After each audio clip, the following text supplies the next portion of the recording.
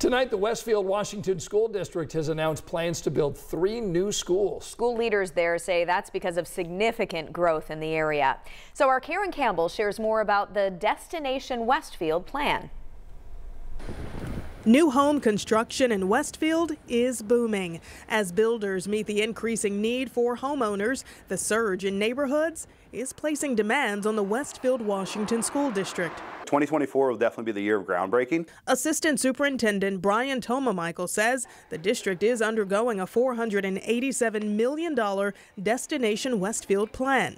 When we look at the growth that's happened over the last several years, we have not added a brand new K-12 school building to Westfield since 2009. So they're using our double. What is 6 plus 6? The project includes two elementary schools, one middle school, a new transportation building, and more. We've had over 1,200 students in the last three years.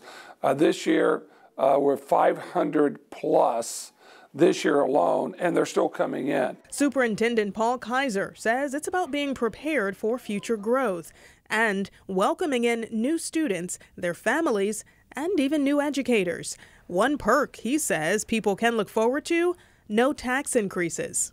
As they move and build these neighborhoods, those tax revenues build the schools. School leaders say Westfield may very well become the fastest growing city in Indiana. I'm the only Indy native on our block. Um, everybody else, um, California, Kansas, Idaho, New York, um, Kentucky, it, it's all over the country. Yeah, as we continue to grow as a city, the schools are just a byproduct of where that growth goes. In Westfield, Karen Campbell, 13 News. So the plan will be presented again at a board meeting coming up on December 12th.